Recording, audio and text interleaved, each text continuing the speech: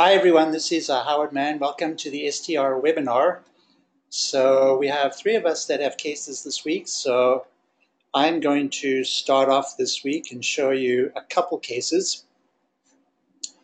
So let me move that out of the way and I presume everyone can see my screen okay. So this is a comparison exam in a patient at a time when things were okay. The context is oncology, and this patient has a hematologic malignancy. And I'm showing you the images up here just to indicate that he has a right subcutaneous port with a catheter going into the uh, jugular vein in the usual place and then going inferiorly. So he's got that for administration of chemotherapy. So this is at a time when things up here look just fine. So now I'll go forward in time to sometime later. And when we take a look at that area, at this point in time, I will tell you that his, let me just verify that, that the catheter was removed, and I'm withholding a little bit of information for the time being but that's where the subcutaneous port and the catheter used to be. And keep your eye on the right jugular vein. There it looks okay, but soon enough as we traverse the thoracic inlet, you will see that its lumen narrows quite substantially from there to there. And instead of a nice opacified lumen, we see abnormality related to the opacity, the uh, opacification of the lumen, as well as some abnormality related to the wall, as well as quite a bit of abnormality related to right brachiocephalic vein as we go down towards its junction with the left brachiocephalic vein. So the lumen is narrowed, the wall undoubtedly I think is inflamed, and there may also be some abnormal tissue around that vessel. So let me show you here the lungs and I will tell you that these opacities that are new, those rounded things are, are new. So those have developed in this person's context.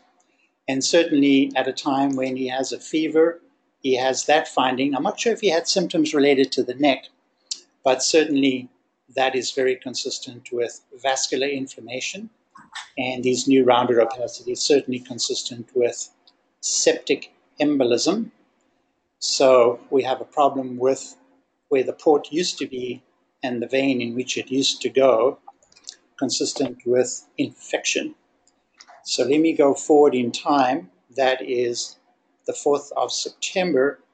And I'll just show you perhaps the coronal image from about eight days later to show you what's happened to that right jugular vein over time. Actually, let me show you the coronal of the neck, which shows the abnormality even more. So here we go. And you can see this is about where the jugular vein opacified is going to disappear. And here, and I'll move this up, you can see that there is really just a little bit of contrast medium in that distended vein but otherwise, this portion of the jugular vein is distended with clot. So this certainly is consistent with infected thrombus involving the right jugular vein as well as the right innominate vein with septic embolism. So this is coagulase negative staph port infection, complicated infection with also you can see ultrasound findings consistent with infected thrombus of the jugular vein. So pretty dramatic case of that. I can turn it on. I can turn it All right. Can you folks still hear me? I'm, I'm working in a place I don't usually work, so I want to make sure you can hear me. There's no problem. It's, it sounds fine. I can't Great. even tell you're not. Okay. Next case is um, pretty classic kind of situation where a patient with a history of Marfan syndrome, as it turns out, comes into hospital. And let me just show you the frontal and lateral projection of the chest. Sorry about that. Let me bring that in like this and like this and get this back to what it should look like, like that. So this patient's had uh, surgery to the spine but has Marfan syndrome. And certainly in that context, acute chest pain, acute aortic syndrome, one thinks about aortic dissection. And I always teach my residents that that portion of the aorta that we're often very interested in, which is the aortic root, that portion between aortic annulus and sinotubular junction, is really buried in the mediastinum. And you can stare at this forever, but you won't appreciate the dilatation of the aortic root that is present here, and that may be present in patients with Marfan syndrome particularly, because it simply doesn't contact lung to produce any abnormal mediastinal lung interface. So this patient will be imaged for acute aortic syndrome in the usual manner and quickly scrolling through there, we'll be looking for, of course, the aorta itself. Here is the dilated aortic root. No findings of acute intramural hematoma on these images, but here's the contrast. I'll make that big, and we'll see a pretty typical type A aortic dissection. So we can see that the dissection flap is located in aortic root. There's aortic valve, but the aortic root is large. The dissection flap is there. Of course, the sinotubular junction will be effaced by virtue of the dilatation of the root to start off with. And then as we go higher, we can see that it goes on, goes on. The true lumen is rather small there. And then when we get to about here, we can see there's communication here between true lumen and false lumen. And then in terms of the brachiocephalic vessels, here is subclavian, left carotid, here's innominate. And if we just go back a little bit, we can see the intermedial flap in relationship to the origin of the innominate artery, close to where there is a fenestration there. And then, of course, the aortic dissection continues inferiorly for for a distance. So pretty typical acute aortic syndrome. Now I'm going to show you, just out of interest, uh, what they found at surgery and how that correlates with what we see on imaging. And this is sort of interesting in itself. So you can see here by description that type A dissection, tear located in the aortic root. The tear involved the origin of right innominate artery, aortic arch was small. So they were able to spare the valve, no problem there. So you have to take care of the aortic root and you have to take care of the ascending tubular aorta. And you can see there that they had to use two grafts to do that. They did uh, ascending aorta and root replacement and had to replace the innominate artery.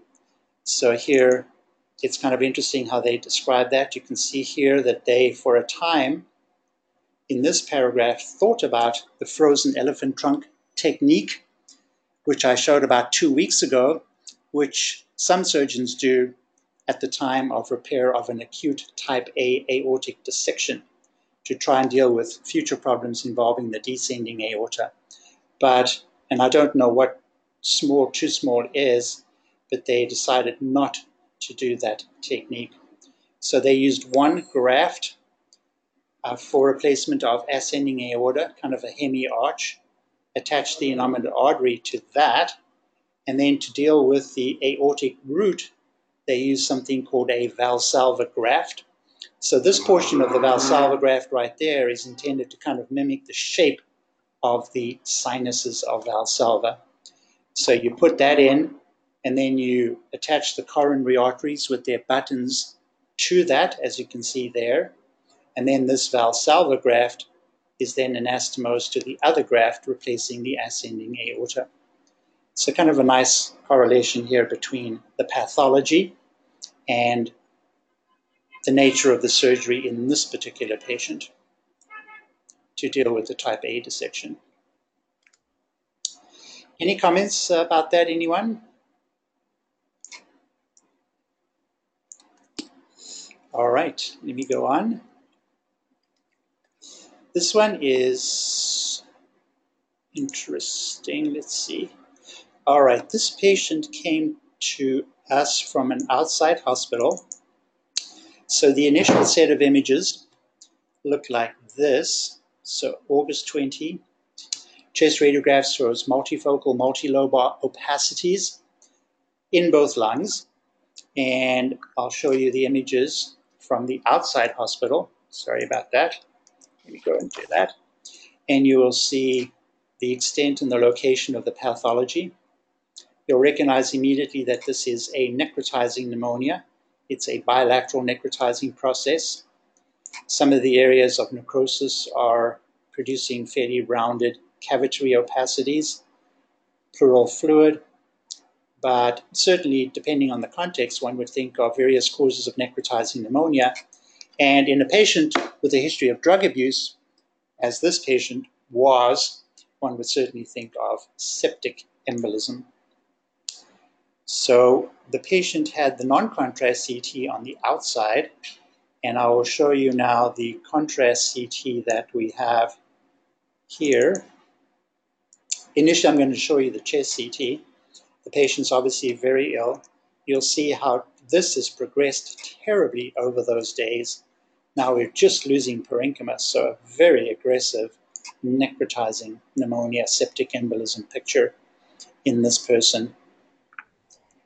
And there's pneumothorax, pleural fluid. The pleural drain looks rather awful. So now I'm going to show you images from the chest CT to show you one interesting thing first, which initially was not observed. So I'll come back to that, but just let me show you if I can find it again uh, one interesting thing, and I need to try and find it again, because there is this here in relation to a pulmonary artery segment, which is pretty continuous with that, but there's certainly intraluminal pathology in that location. And there was another filling defect in the artery, and I can't remember where that was, but certainly this looks like embolism, but in this patient with a history of septic embolism, one would look for tricuspid valve endocarditis and think that this represents embolism of vegetations rather than bland embolism from VTE. So if we look at the heart, we can see we don't have sufficient contrast medium in right atrium and right ventricle to really show that valve at all well. And what's interesting here is that CT was done very close to the same time. But you can see from the CT that we have contrast medium now in right atrium and right ventricle very nicely on the abdominal CT portion of the exam. And it's on that portion of the exam that we see the large vegetations on the tricuspid valve very nicely. So that's one thing I think to keep in mind if you're worried about diagnosing septic embolism. And certainly this patient was known to have that on the basis of ultrasound before. But if you're looking for it, you really need to have more delayed images when the atrium and the ventricle are nicely opacified in order, to be able to see those large vegetations that nicely. So a nice case of infective endocarditis, vegetations, embolized vegetations to segments of pulmonary arteries, and a terrible necrotizing pneumonia as well.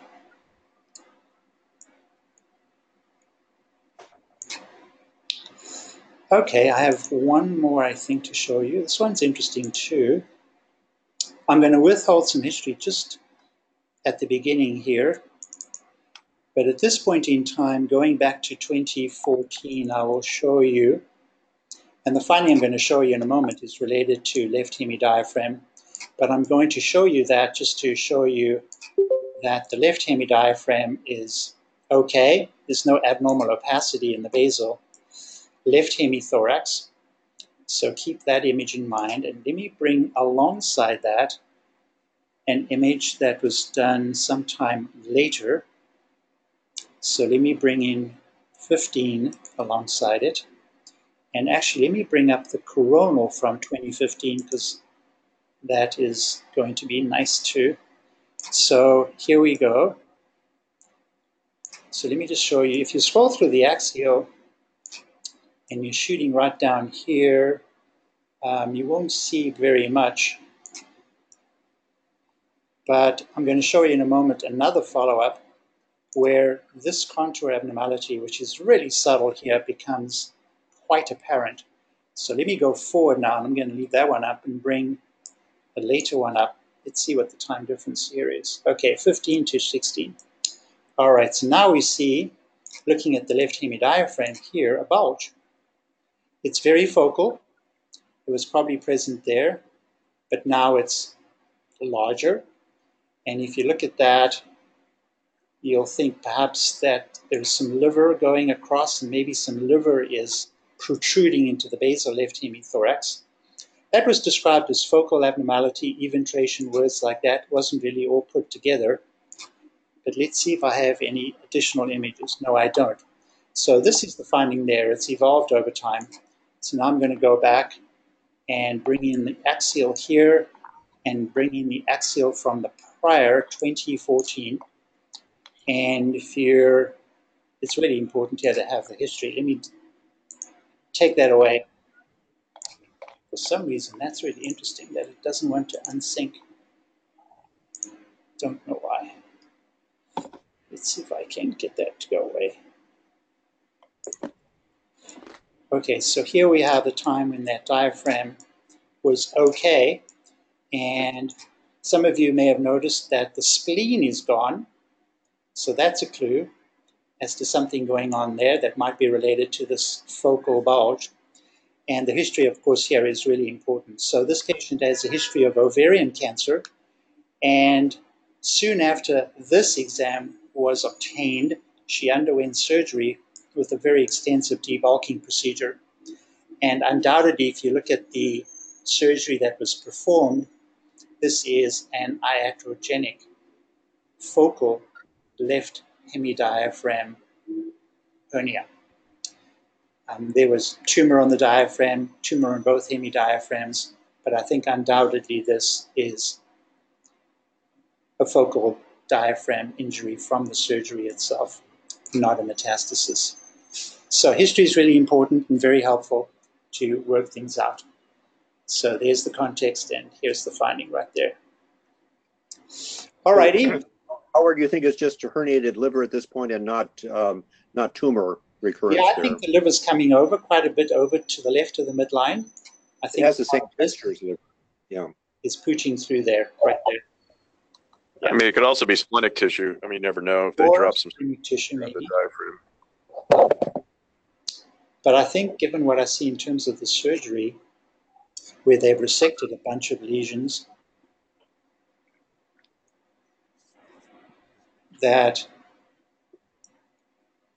you know, if they take the spleen away, just the whole spleen by itself, presumably that came out okay. But if they resected some actual left hemidiaphragm lesions, then I think it's perhaps more likely that that's just a small injury from that from the surgery. I think. I've, I've seen a little iatrogenic hernias like this before along the On the right diaphragm. side, I think you've shown some cases on the right. Yeah, we've shown a couple cases on both sides. This is, I think, the first one I've seen after this kind of surgery. I've seen it after kidney surgery, nephrectomies. I've Mhm. seen it after removal of a liver tumor, David, when you've shown some of those. I don't think I've seen this before in the context of a debulking surgery Right. for ovarian cancer. I think this is my first in that context, but I think it makes great sense. And I've seen one after a um, was removed, and the LVAD was put in the upper abdomen. They went through Ah. the diaphragm Ah, into the apex. So, so when they pulled that cannula out, they they left the potential for a um, hernia later. Okay. All right, very good. So, who's ready? I could show some. Okay, David. I'll switch over to you. If I can get to my control property, which is here. Okay, there we go. Do people see a radiograph? Let me know when a radiograph is No? there. Do we have radiograph? Yeah, we do now. Very good. So unfortunately, I only have a frontal view for this. I don't have a lateral view to help, but there's a little um, puffiness of the upper mediastinum here. And the trachea, of course, there's a little bit of rotation, but the trachea seems to be going off a little bit to the right. And it turns out there's a reason for all of this. There is a bulky uh, tumor here, pretty homogeneous tumor in the upper mediastinum. Um, it does seem to be associated with esophagus here, although it's very eccentric. And this was biopsied from the esophagus. And this turns out to be an esophageal leiomyoma, a big, bulky upper mediastinal tumor like this. So on the on the sagittal view here, you can see the potential for our being able to pick up something on lateral view in terms of anterior displacement of the trachea here by this mass here. And this this nicely shows the relationship with the esophagus with air below and some air above. And then in the middle, the air is uh, obliterated from that, from the lumen. So esophageal leiomyoma biopsy proved. Mm, very nice. And then here's a fellow with an abnormal chest radiograph, and it looked like this for a while. Um, a denser lesion here in the right apex, but the hint that there's something around it, you know, just uh, smudginess up here and then denser smudge here on both sides at the level of the hila, and maybe some right paratracheal lymphadenopathy, which is helpful in this. I think I'm going to have the CT come up here. So um, so let's let's look first of all at the um, five millimeter sections here, and we see that we have this dense consolidation here around airways, and we have some more ground glassy stuff out here and over here, back here, sort of along fissures. Um, so this just shows the benefit of thin sections. The thinner, the better. So here's the same the same imaging here, same level but with 1.25 millimeter thick slices. And now you can see that the main abnormality is not ground glassy, but it's really fine nodules that have become confluent to varying degrees. We have a very nice galaxy sign here with this dense central core and then uh, the nodules clustered around it. And again, we have what's basically a nodular abnormality forming along fissures back here. We do have uh, very discrete, well-formed mediastinal and hilar lymphadenopathy with very clean margins of the nodes, characteristic of sarcoid, which is what this case is. So mm. there's subcarinal lymphadenopathy, hilar lymphadenopathy, not not shown against vessels here, but definitely present. And um, very nice, I think, galaxy sign here of sarcoidosis. I like the way that um, a couple small airways are traversing that large opacity undisturbed. Right. So there's a little air bronchogram effect too. So air bronchogram on CT and sarcoid lymphoma, very nice. Those okay. are things one thinks of, right? Okay. Um, now let me show you a few uh, little adventures here with um, with um, with ports. So here is a frontal view on this person who has a port catheter in place, and the needle is not going into the circle. So this is bad. We called them up about, about this, and they said they had good blood return when they sucked back, and so they were not inclined to uh, to, to view this as abnormal. But I've been burned by having having these needles go in beside the port, not in the port, and then lead to extravasation and tissue necrosis. And the other thing to notice about this is, let me let me mag it up here, is that um, there are some letters put on this that indicate that this port catheter is capable of taking contrast on an injected contrast for a CT scan. And although the letters are upside down, if we rotate this whole thing here, which I can do, uh, we should be able to, when we get it properly oriented, to be able to read it left to right. And it should not be a mirror image of normal. So you don't want your C backwards. You may have to rotate the thing here in the plane. But when you get it unrotated, it should not read as a mirror image. It should read CT in the normal left to right manner. So that can be a clue. So at any rate, this needle was um, revised over the next few days, and now you can see that the needle goes into the circle. So this is reassuring. And I don't think there was any complication of extravasation, but it's very good to reposition this. Okay, and um, so let me show you this case. And here is uh, a port that was placed way back, I think, in 2013. And let's examining this port again. It reads CT And if we uh, rotate into conventional position, it reads CT. It's not a mirror image of CT. It's a perfectly good CT. Same person a while later, and they were having difficulty accessing the port. And now let's um, let's mag this up here. Um, increase the contrast. And if we, um, let me rotate this for you. And we rotate the thing and we mag it up. And now we recognize that CT is backwards. So it's a mirror image. And this indicates that the port has flipped over. And when they attempt to inject this port, they actually hit the hard back surface of the port, not the soft rubber part in the front. So this thing has flipped over under the skin and unrecognized. This could lead to what looks like good needle placement with the needle projected in the circle, but obviously it's not penetrating the rubber part. It's not a good location. You don't want to infuse if the port has been flipped over like this. So be very alert to the letters should be resolvable by rotation if necessary, but you should be able to read left to right. It shouldn't be a mirror image C. It's hard to tell if it's a mirror image T, but you can definitely tell if it's a mirror image C. So uh, this led to a port complication. The port was not in, in, uh, uh, injectable because the port had flipped over under the skin.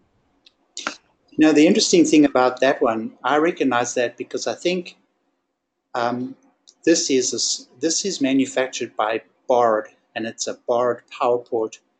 And I'm going to make the assumption that Bard, when they manufactured it, um, did it in a way that when it's properly positioned on the frontal projection, the C and T are, as you indicate, kind of backwards or upside down.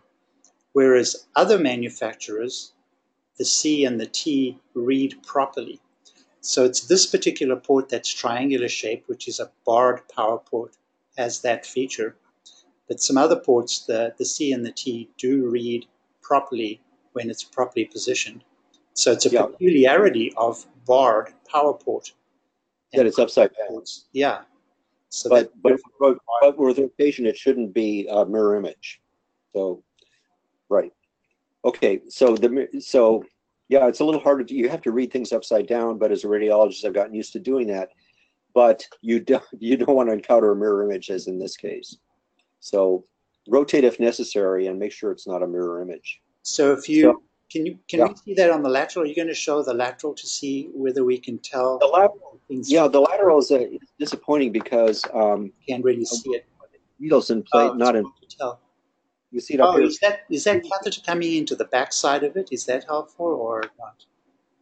I'm sorry. That so um, yeah, that's a good point. If you if you think this is a good lateral, you can recognize that the uh, tubing here is against the skin and the the non-tubing part is external. So let's see what that looked like before when it was properly placed.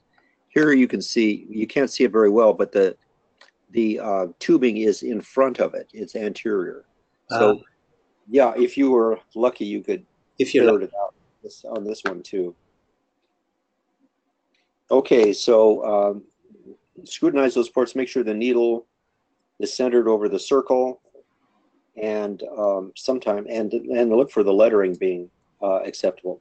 So here's a person with diffuse lung disease.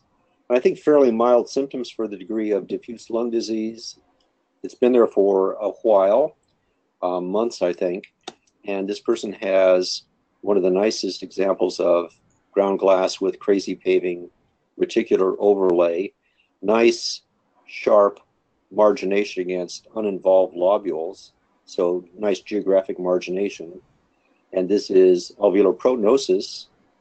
Um, and this person was transferred here and was treated with lavage. I don't know whether they tried you know, IG, um, what is it, GM-CSF therapy on this person. All right, they went to lavage, and we have a picture of the uh, eight here, one, two, and three, showing a whole lot of crud that they lavaged out of the lungs here, and then it seems to get a little bit thinner as we go. And the, typically they'll use 30 liters of warm saline um, and wash out one lung at a time. Three so, zero? I'm sorry? Three zero liters? 30? Three zero liters is what they used to use, yeah, of warm saline. So, so you don't want to do this if you're in a country with a saline shortage. Okay, and um, so here's a person with a um, cough and a very discrete um, lesion here, very well behaved looking lesion in a lower lobe or low, lower lung bronchus here on this CT. So it's filling the airway. And I don't have any pictures to show you about whether there was some atelectasis associated with it or not, but this is a very good in a fairly young patient here for a carcinoid tumor. It was biopsied and the biopsy results were typical carcinoid. Then they came back uh, after coring it out, relieving obstruction, draining secretions and things like that. They like to core these things out, drain, get infl- inf- infection out under control before they go back for more surgery. so the person then had uh, a resection, and at that point they recognized that there were actually uh, about nine um, per high-powered field of um, of chromosomal of um, of mitoses. I was trying to say metastases of mitoses. Lymph nodes were negative, but they ended up revising the diagnosis from typical carcinoid to atypical carcinoid based on that rate of mitosis. So uh, this looks like a very well-behaved lesion. It actually is uh, a little bit more dangerous in terms of being atypical rather than a typical carcinoid. And um, here is a, another case with uh, some lower lung atelectasis. You can see it's all confined posteriorly back here. Looks like a right lower lobe collapse. And this person had uh, a CT scan that shows uh, a less well-defined lesion obstructing at this location here, and the lower lobe, you know, it seems to be an exobronchial component to this. The lower lobe is collapsed posteriorly here. And uh, this was resected, and this was a typical carcinoid. So this looks potentially like a larger lesion and maybe more extensive lesion with an exobronchial component as well, but this turned out to be a better histology, so typical carcinoid in this person. Perhaps there's, um, I would wonder if the patient was infected. There's a little bit of pleural fluid and, yeah. and consolidation. Perhaps it's a post obstructive infection in part. Yes, and this was another one in which they corded out and then waited for infection and secretions to get under control, and then went back in for the for the resection. Uh, and they did a lobectomy on that one. So um, let me show you this uh, case of a defibrillator placed uh, this is back in in April, and this person came back to clinic, then having um, pulled the leads out considerably. So this right ventricular lead now has been pulled back into the right atrium. The right atrial lead is shorter, and there's all this twisting here from twiddling. And also notice that the pulse generator has flipped over. It's like a port. It's flipped under the skin. So the flat surface was against the axilla here, and now the flat surface is medial. So the, the pulse generator has flipped, and you can see that flipping in that direction around the long axis of, is what would would twist the leads in this configuration. So this is an example of Twiddler syndrome. Um, and uh, here's another person who um, twiddled. And here we have that same twisting of the leads. And this lead has been completely withdrawn it's not in the heart at all anymore. It's not even very much in the subclavian vein. So this has been pulled back almost to the pulse generator. So uh, this seems to be a, a raft of uh, twitchy people with twiddling out there. And then finally, here is this case. These are all in the last couple of weeks. We have initial placement here and then subsequent um, findings at this point when they noticed that they, they were not capturing the uh, left ventricular uh, lead.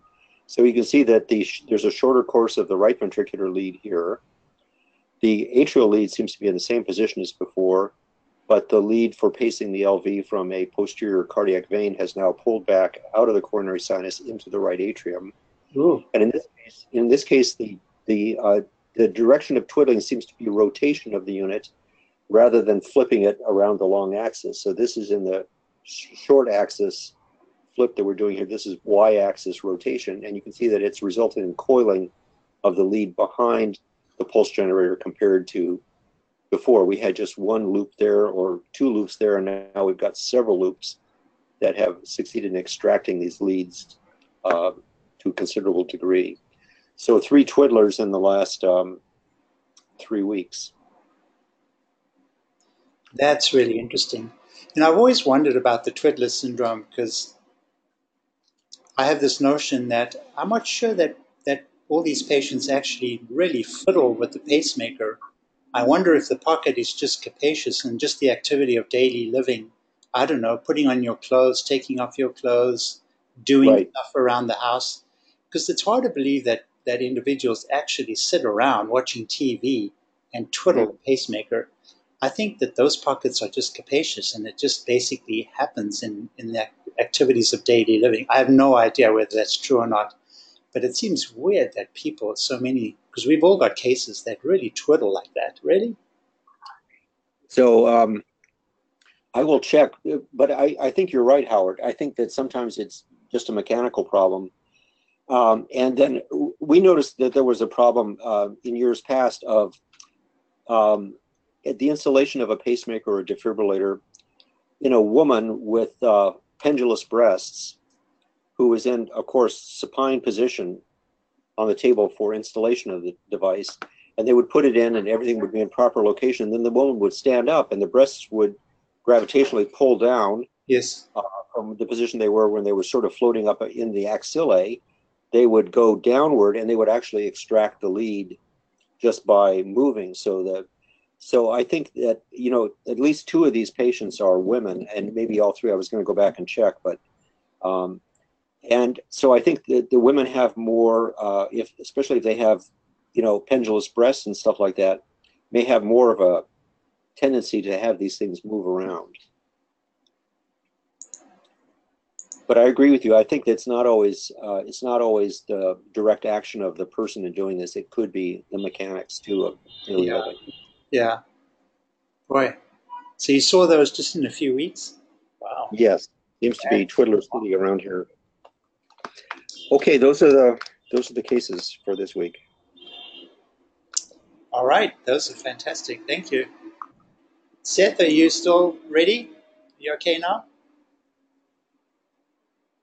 I think that uh, we may have lost Seth, I think. Let's see. So Seth was around, but I think he may have had to go somewhere. So I don't see him on the list, David, at the moment. Okay.